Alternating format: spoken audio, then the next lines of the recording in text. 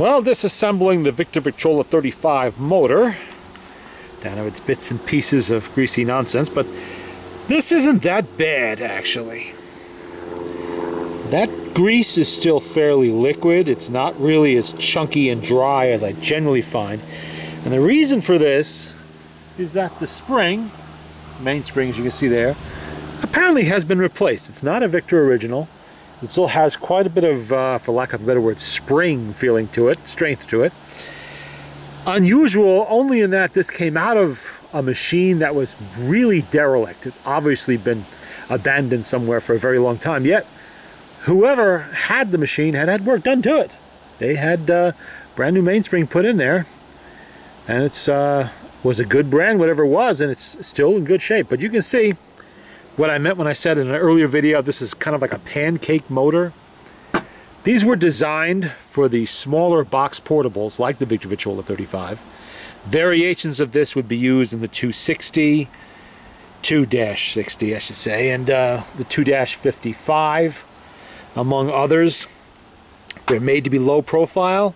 Instead of, you know, being having a high tower, all of that, everything is sort of squished down onto it and they rely on set screws to hold them together. This is important. I mentioned this before. You see the screws here. This is a set screw. These little tiny screws are for your spring. There's the ball bearing that goes under the main shaft. Another set screw. And if these screws come loose, everything falls apart. Everything falls out. You have a set screw that goes here that holds on the winding shaft. Whoops, right there. That holds on your winding shaft that was loose on this. That was definitely loose. This, this gear does not have a, a set screw. It is pressed in. Don't mess with it. Clean it, but leave it alone. And where's the other one? Okay, in here, in here goes this gear. And I left the set screw in this one so you can see it. See the set screw there? That set screw was loose. This gear was loose and eventually it would have fallen apart and you would have been able to lift the turntable with the shaft completely off of the machine. Not good. Here's another one. Set screw. This would just go right out of the machine if the screw got loose and this one was also loose. Every set screw in this was loose. This little collar right here. See if I can, uh, a bit of a bright sunshine here today, but see that collar? Can you see the screw? Or is it too greasy? There we go. That's the set screw. Right there, it was loose. That set screw, that little collar, goes on the bottom here. And where's the shaft? This shaft, right here, goes through from the other side. You know, from this side. That goes down through there. Your spring attaches to around it and that set screw sits right on there. It clamps on to that little bit coming out there, and if that screw gets loose, that collar falls out, this entire spring barrel crashes in, down into the bottom of the box, and now you have to take the whole thing apart to fix it. So, periodic maintenance on a Victor Victrola 35, like any Victrola, is very important. You have to make sure those set screws remain snug. Don't try to super tighten them. That's only going to strip out the screw, break the screw, or cause other problems. Just snug them. Snug them tight. That's all. So they're not loose and they're not in danger of coming out. If you do that periodically, then you won't have any problems, at least not with screws falling out. Now, if you're going to start working on Victrola, you know, doing Victrola springs, that kind of thing, I cannot think of an easier spring than this one. There's no little rivets in there that you have to hook an eye onto before you can start winding the spring into. There isn't even a little folded piece of metal that a hooked spring would hook into. Those are pretty easy too. Hook into so you can wind it in. What this has is this little ear that comes off of the top of the barrel and that catches the hook. So all you have to do is just wind the spring in there, making sure it's going in the right direction because this one you can accidentally wind it in in the wrong direction if you're not paying attention don't do that pay attention what I like to do is even though I've done this a thousand times I still take a picture of the direction of the spring with a digital camera. Doesn't cost anything, just snap a picture with your phone, whatever. So you can see the, the rotation of spring, which way the spring goes in there. And put it back the same way and double check it when you're done before you put all the grease in. Now some people like to grease the spring before they put it in. I find that extremely messy and extremely dangerous because a greased up spring can get away from you very easily. Okay, it's hard enough taking them out when they're greasy. Putting them back in, especially if it's a new spring with a lot of tension, if that thing's all greased up, you can get away from you, especially if you're not used to it. So I put them in dry, and then I grease them. I add the grease and I add some uh, STP lube when it's in there.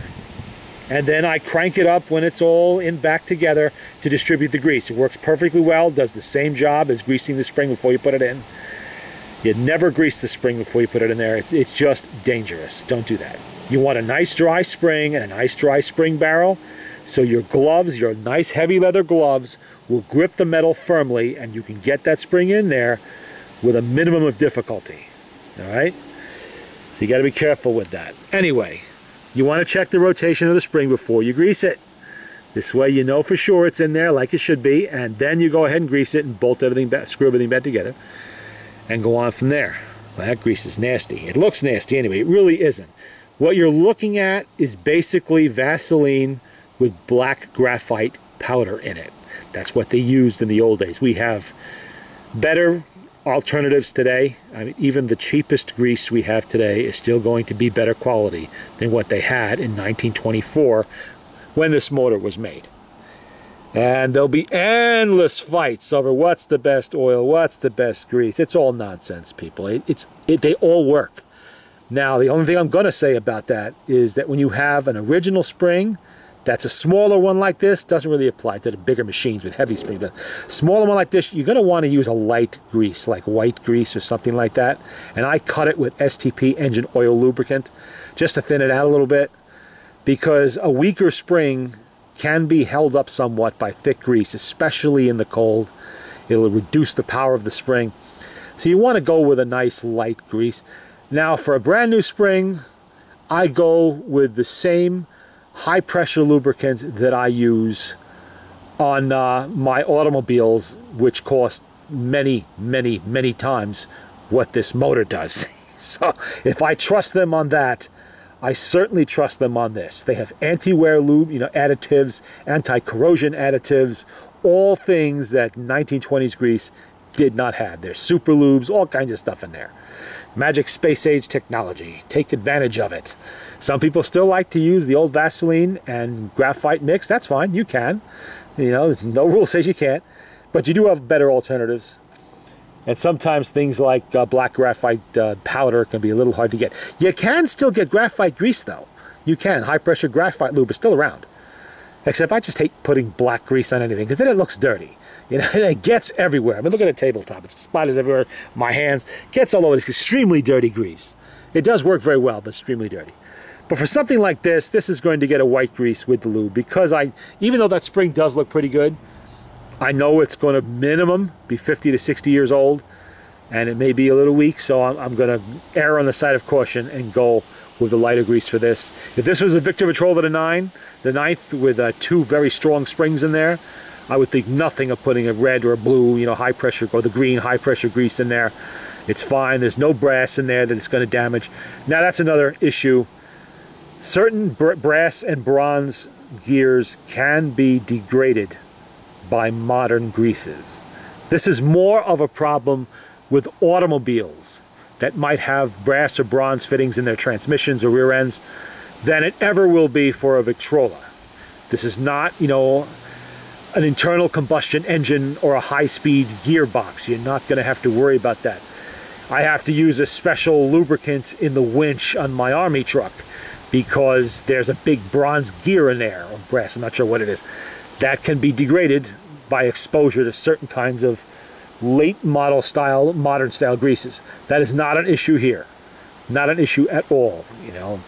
The only issue you're going to run into is if you don't grease them because then you're going to have increased wear.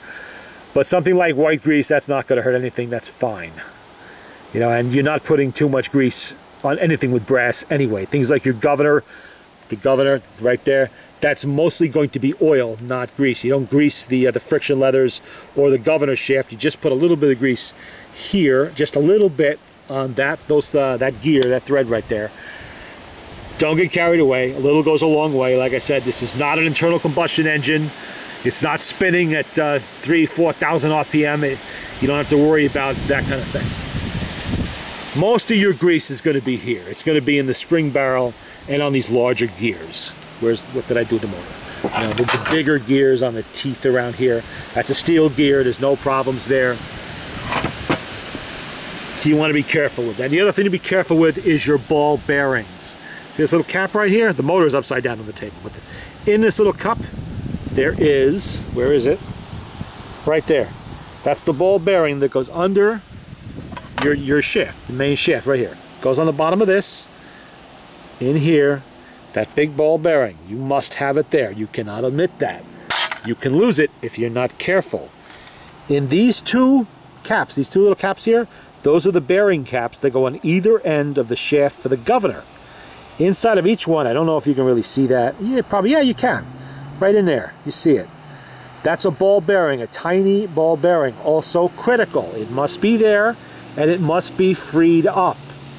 They're stuck in there right now. What I'm going to do with these is, is leave them soaking in solvent and shake them around a little bit, and they will come loose. They'll come out of there. You might have to pick at them a little bit with a little pick, get in there and move them around. Once they're out, clean it up a little bit with a little swab or a pick or something. Make sure there's no dirt in there, although the solvent will take care of most, if not all of that. Put them back in with a dab of oil and then seal them over the top with some grease. That's to keep the ball bearing in there when you're reassembling it, so it doesn't fall out when you're putting the governor back in. The one with the groove, you see the one with the groove? That will go here. That's the one that goes closest to the governor where the governor uh, it will be spinning, where the governor gears are, right here, on any Victrola motor. The one with the groove is here. The groove is simply to center it. So the set screw will set down in that groove and lock it in place. It is not adjustable. This side, this side, which is the longer, or sometimes they're the same size, but this side has no groove. This is adjustable. That's how you adjust the lash on the governor, is by moving that bearing in and out. And the trick on that is you want a little tiny bit of movement, just a little bit. Not a lot and not too little. Too little will bind it, too much it'll be slapping around. Just one little bit. This is something that comes with experience, but you'll get the hang of it once you've done a number of these motors, and I will show you when the motor is reassembled. Well, there you go. There's a look at the uh, the Victor Victrola 35. This was the first of this generation of motors. The Victor Victrola, Victor Victrola 35 had the first of this style. Now Victor would use pancake motors like this in various sizes and shapes that all look like this up until the end of the company in 1929. They would use it in portables, not in the big tabletops or any of the tabletops or floor machines. They had the regular style motors. Well, there you go. There's all the pieces and parts. Now, of course, I'm going to have to scrub them all in solvents to get rid of all the grease and the nasty stuff and get it all back together. Okay.